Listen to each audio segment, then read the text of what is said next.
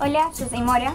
Hola, soy Nahuel y con Belisario nosotros hicimos el diálogo leyendo la novela y mirando los dibujos que hicimos. Yo hice parte del resumen de la novela y después yo también actué. En los primeros ensayos nosotros, o sea, íbamos contando la historia y en base a eso Cristina nos grabó y nos lo dio a los chicos de edición de, de guion.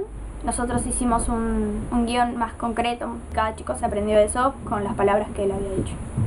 Para hacer el resumen nos sirvió mucho eh, ver en YouTube los videos que habíamos hecho en el debate, que los habíamos filmado y así entendimos cada uno con qué expresión y cómo quería decir lo que iba a quedar en el guion. Hola, yo soy Manuel. Yo soy Giovanni. Y bueno, nosotros hicimos el guion. Hicimos un resumen de los capítulos, lo cual fue un trabajo muy difícil porque los capítulos son muy grandes y hay mucho material.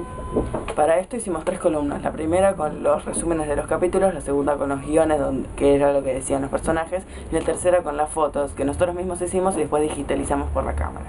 Después también los tratamos de editarlas a las fotos o le pedimos que las editaran. Un ejemplo de esto es, por ejemplo, en una imagen donde recuadramos la cara de una persona, después la pusimos en grande.